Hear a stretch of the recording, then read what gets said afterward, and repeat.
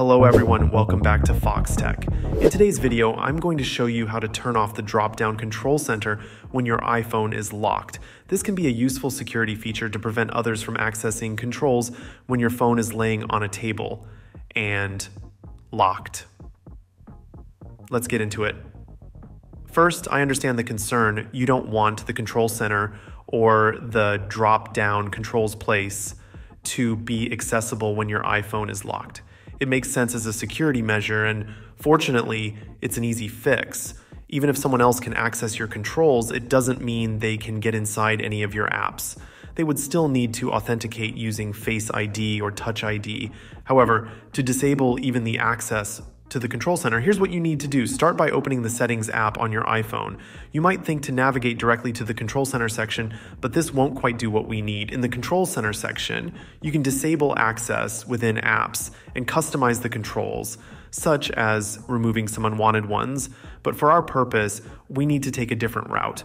Go back to the main settings page and scroll down to find the Face ID and passcode or Touch ID and passcode section, depending on your iPhone model.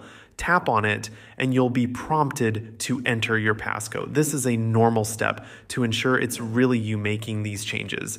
Once inside the Face ID and passcode, or Touch ID and passcode settings, you'll see a variety of toggles and options. Scroll almost all the way to the bottom until you find a section called Allow Access When Locked. Here, you'll see the control center toggle. Simply switch this off to disable access to the control center when your iPhone is locked. This will make your device more secure by preventing anyone from swiping down to access the control center without unlocking your phone. While you're in this settings section, feel free to explore other toggles and options. You can adjust what features are accessible when your iPhone is locked to ensure the perfect security settings for your needs. And that's it.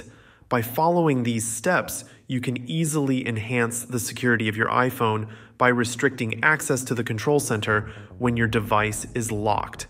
If you found this video helpful, please give it a thumbs up and consider subscribing to Foxtecc for more tech tips and tutorials. Thank you for watching, and I'll see you in the next video. Peace.